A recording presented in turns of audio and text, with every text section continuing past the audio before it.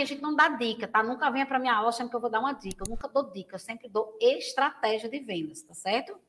Surpreenda seu cliente.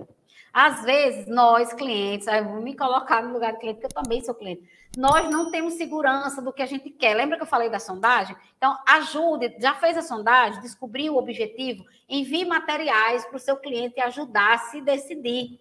Às vezes, ali só na conversa não é o suficiente. Ah, eu vou mandar umas imagens para você do que eu tenho aqui, de acordo com o que você me falou. Aí você vai me responde o que, que você acha, que aí eu vou te mandar mais coisas para a gente decidir, fechar aqui o que, que é melhor para você.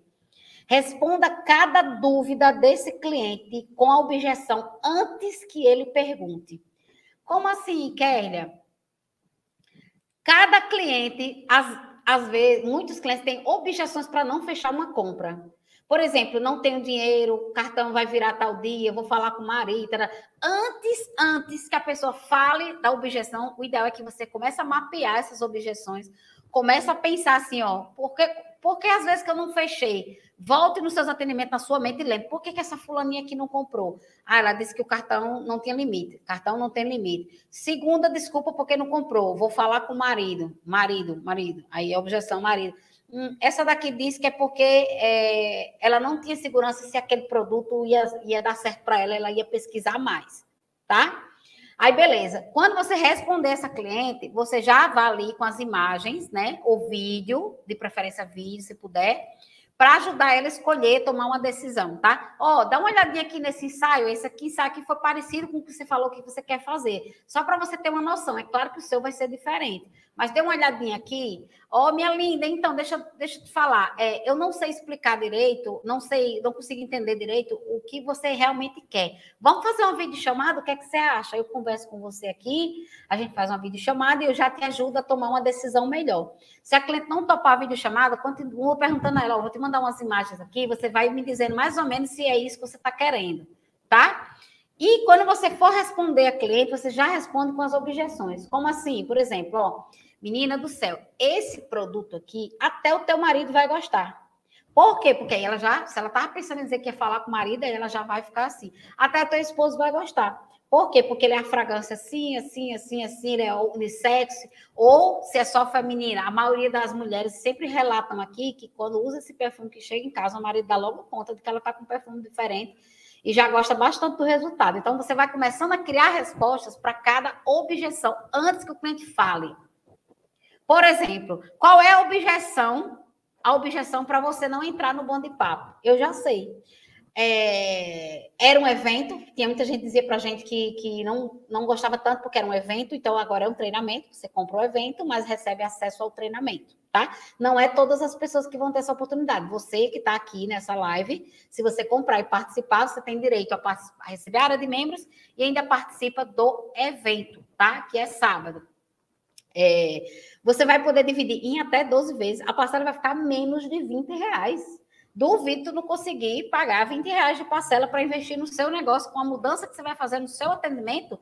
É arriscada hoje ou segunda, depois que você aplicar, você já recuperar o valor envolvido no próximo atendimento, porque você vai aprender a vender mais para os mesmos clientes. Você vai aprender, quando o cliente procurar um batom, você vai vender um batom, um líquidozinho, porque tem também um líquido. Vai vender um não, você vai vender dois batons, porque um é seu e outro você vai dar para sua mãe, vai dar para sua filha, vai dar para sua avó vai dar para alguém, porque esse produto aqui não pode sair de dentro da sua bolsa de jeito nenhum. Então, se você ficar só com um, ó, e se perder, como é que vai ser? Eu estou dizendo isso porque é assim mesmo, tá? Lá em casa é um em cada, praticamente em cada cômodo agora, porque eu morro de medo de esquecer esse negócio.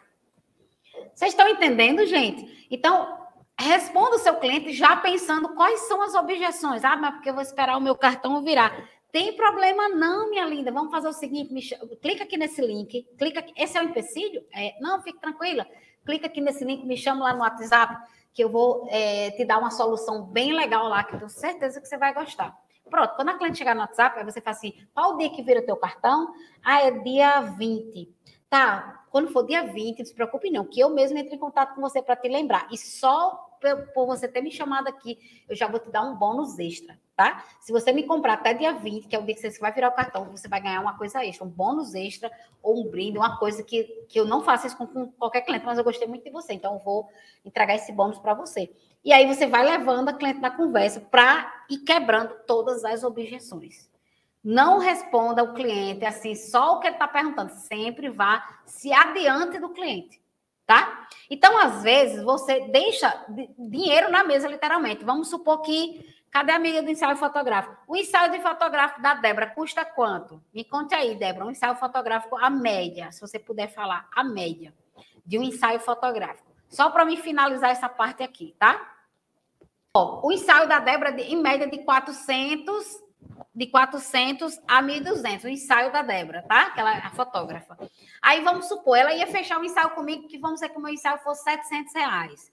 Só que eu só ia fechar um ensaio de 700 reais. Se ela entendesse na sondagem que eu precisaria de mais de um ensaio, ela poderia me oferecer dois ou três ensaios, e aí ela ia baixar um pouquinho o valor, mas em compensação ela ia ter que fechar três vezes mais. Ah, deixa, então deixa eu fazer uma proposta melhor para você. Vamos fazer o seguinte: você está sempre renovando, né? O que, que você acha da gente fazer ou uma assinatura, que aí eu pagaria por mês, é uma sugestão, ou é, você fecha comigo três ensaios, você vai fazer o seguinte: você vai passar o cartão desse aqui.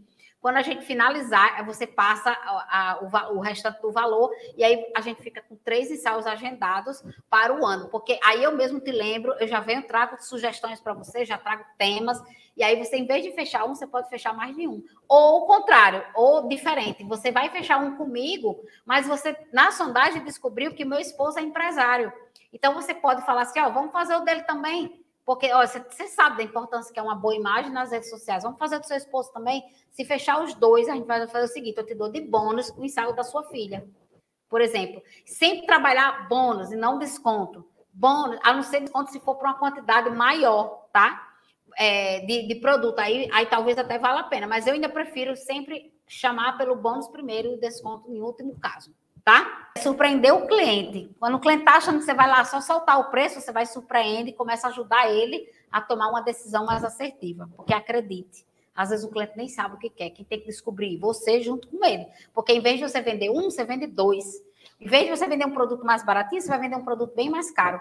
Em vez de você vender é, só para aquele cliente, dependendo do jeito que você atender, você pode vender para bem mais pessoas. Então, atenda direito o seu cliente, senão você está perdendo dinheiro, está deixando literalmente dinheiro na mesa, deixando passar dinheiro. Ah, não, não quero não, não quero mais dinheiro aqui não, não precisa de dinheiro aqui não, pode ir, não precisa não, não, só quero hoje eu só quero vender 100 reais, é isso? Não, hoje eu só quero vender mil, dois mil reais está bom demais para me vender hoje, porque eu tenho alunos que vendem dois, três mil por dia, tá? É, mas eu não quero, não, tá bom. Quero vender mais que isso, não. Se você faz um atendimento assim, você está dizendo isso. Você está dizendo, não, não quero esse valor, não, ter, não precisa desse valor. Pode deixar. Não, gente. Cada pessoa que chegar até você, trabalhe para que ela compre mais do que o que ela estava projetado para comprar. E não só isso, para que ela volte outras vezes e traga outros clientes, que aí é a parte de comunidade de fãs que a gente trabalha no método completo, tá?